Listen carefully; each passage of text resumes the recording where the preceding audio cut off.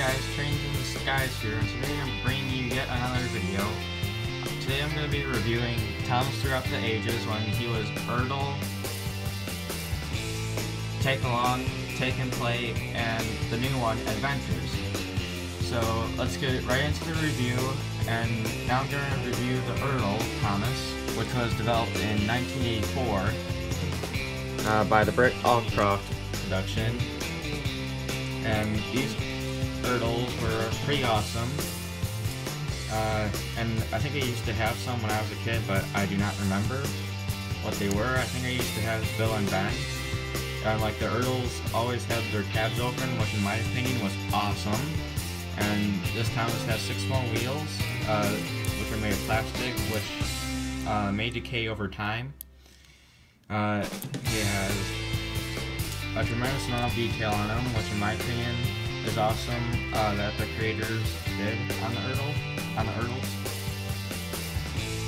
So yeah, I think this Ertl model is pretty awesome, but the only complaint I have of this model is its coupling system, which I didn't really like because it couldn't couple to other engines.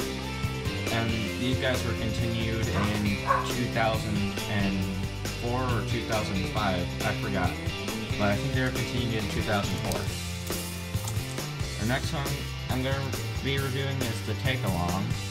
Uh, I only have Harvey so far. Um, I only have Harvey because um, I, I, sold my other Take Alongs. So yeah, the Take Alongs also had their tabs open. And the magnet, so now Harvey has like a swiveling arm. And he has this magnet on him he has a tremendous amount of detail, which I like. Uh, and like he also can only connect one way or the other, almost like wooden railway. But I like the detail, of just the coupling system is I, I just don't like it really much, but it is pretty good though. Because it only could couple one way or the other. Alright, so now let's move on to the Adventure series, and these guys were continued uh, after and Play came along. And here's the Take and Play. I only have Streamline Thomas and Streamline Gordon, and also Rex are in the Take and Play range. But this has to be the most hated model of all, because literally the magnets that they used are the ones that they used on Wooden Railway.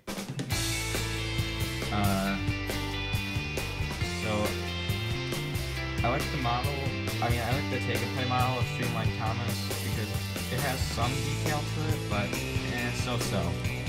But the Streamline Thomas was a great race, and now seeing it here on Take and Play is bad. Just really bad. I do not like this model at all because of the wooden railway magnets. They're too big for this range, and I really do not like it. Uh, so let's move on to the Adventures Adventures model, which is um, Ivan of Russia. So I have Ivan in, Adventures form. Uh, Ivan, in my opinion, looks pretty good in Adventures. I like the coupling system because now I could couple one way or the other because now I can couple to the back of an engine or the front of the engine, which Take and Play or Take Along and Ertl did. So I'm really happy with this because now little kids can couple their engines one way or the other. They can couple them back and forth, uh, which I like about it. And they can have really much fun with these models. And the coupling system, I, I don't have any more complaints of, and hopefully they make a Mike, Rex, and Bert of adventures. So yeah, I really like this model. Uh, and I like how it replaced the Take and Play, which is awesome. Thank God they got rid of Take and Play Thank God. Um, so I really like the face. I really like how they have the lanterns. This guy has a tremendous amount of detail on him, like in the Great Race. I like his bases.